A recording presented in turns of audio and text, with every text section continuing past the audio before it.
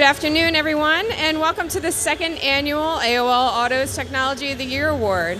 Uh, we started this war- award uh, last year because, as you can see by going into the hall over there, um, automotive technology is becoming a big part of CES. In the next few, years, you're going to see things like automated cars that will drive you to and from work. Uh, you'll see hydrogen powered cars that emit nothing but from the tailpipe but water. Automakers are making it easier to integrate our daily lives into cars, and cars are becoming the most mobile of mobile devices. Like the Los Angeles Times said earlier this week, at CES 2014, the hottest gadget is your car. In the second year of the Tech Year Awards, we narrowed it down to six finalists. We take a look at um, Chevy's valet mode, we took a look at Volvo's pedestrian detection, uh, we took a look at a bunch of technologies from Mercedes, and we narrowed it down to one clear finalist, or one clear winner, actually the Tesla Supercharger Network. Tesla's Supercharger Network it has the potential to change electric cars from novelty items to mainstream vehicles. The biggest stumbling block with electric cars is that they are hard to charge. Um, they don't go very far in one charge. Dri- drivers have what we call range anxiety, they worry about how they'll get home if they're stranded someplace without someplace to charge. And traditional chargers take about eight hours to power up a vehicle. But Tesla's network takes about 20 minutes to get the car from zero to half power. Tesla's placing the network strategically across the country so people can drive across from New York to California if they want. CEO Elon Musk has said he's heading out for a cross country trip with his family at some point this year. Now, I should note that very few people on our panel actually got to test the, the supercharger network because um, we didn't have a Model S to, in our fleet at the time. But still, it was clearly heads and tails above everything else that we looked at. Some of our reporters have tried it, and we've been watching closely and listening for criti- criticisms from the public who've been using it, and everyone who's used it has said that it works as promised. One of the people on our panelists on our panel called the Supercharger Network game changing they used the word revolutionary and innovative. It was, in our minds, the most remarkable technology to be released in 2013. As Sebastian Blanco, editor of Autoblog Green, said, the Tesla Supercharger should win Tech of the Year, the Tech of the Year award for, in 2014, no matter what the competition is, because it's really the only technology that stands to make a real difference in how the world moves. So please join me in inviting um, Alexis from Tesla up on stage to accept the 20 the Tech of the Year award. Congratulations.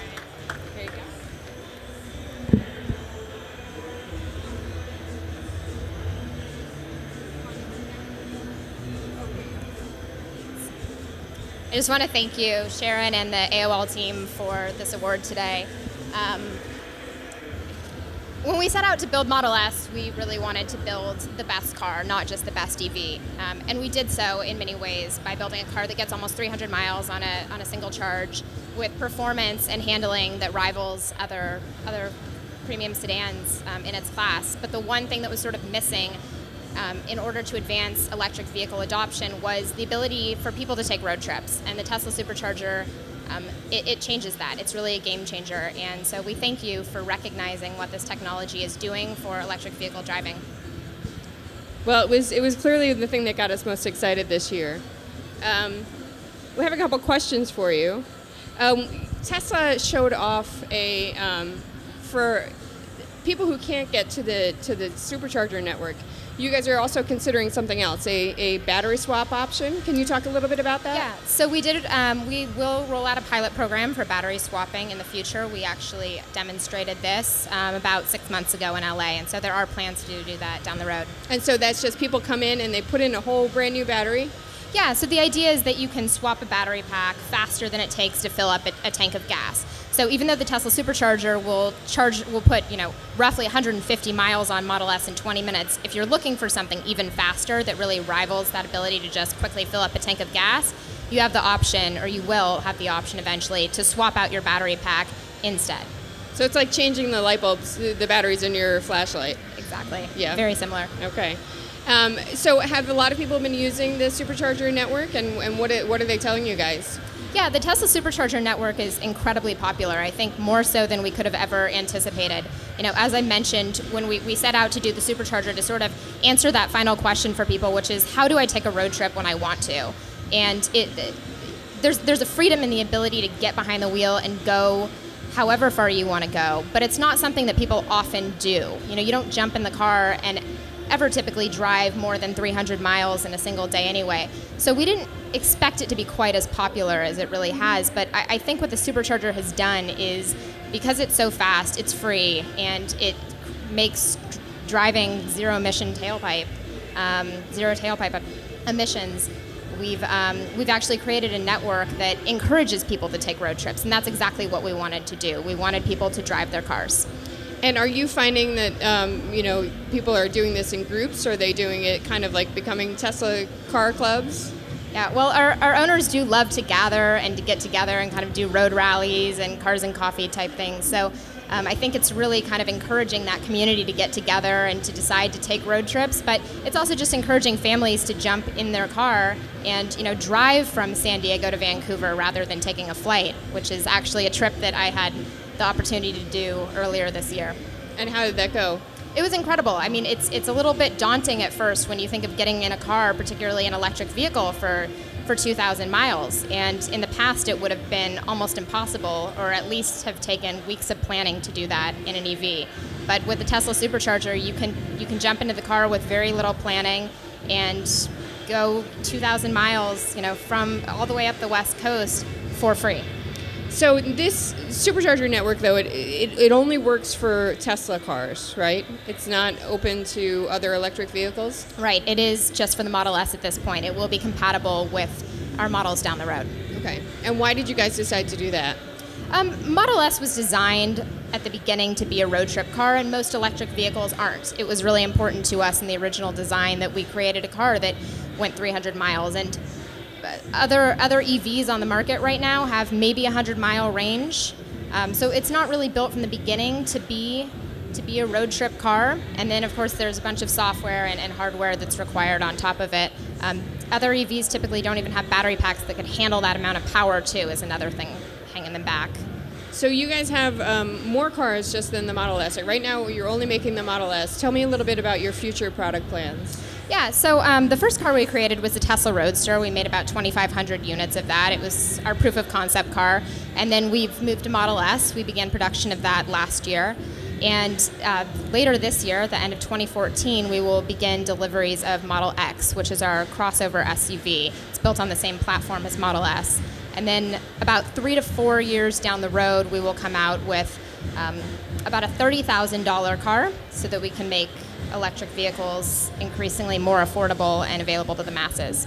So tell us about the Model X. The Model X um, is got a really neat feature that everybody likes to take pictures of and talk about. Tell, tell us a little bit about what the, the back doors. Yeah, so the, the Model X has the Falcon Wing doors that, that everybody's very excited about. They're um, double hinge doors, similar to kind of the traditional gull wing, except you only need a couple inches on either side of the car to open them up. They actually open up and out so that if you're parked very closely to another car, you can just easily open them up in a, in a tight space. So um, those are definitely something that, that people are excited about seeing. Yeah, so they'll come up and they'll there'll be like wings on the car, yes, right? Exactly. Yeah, pretty neat.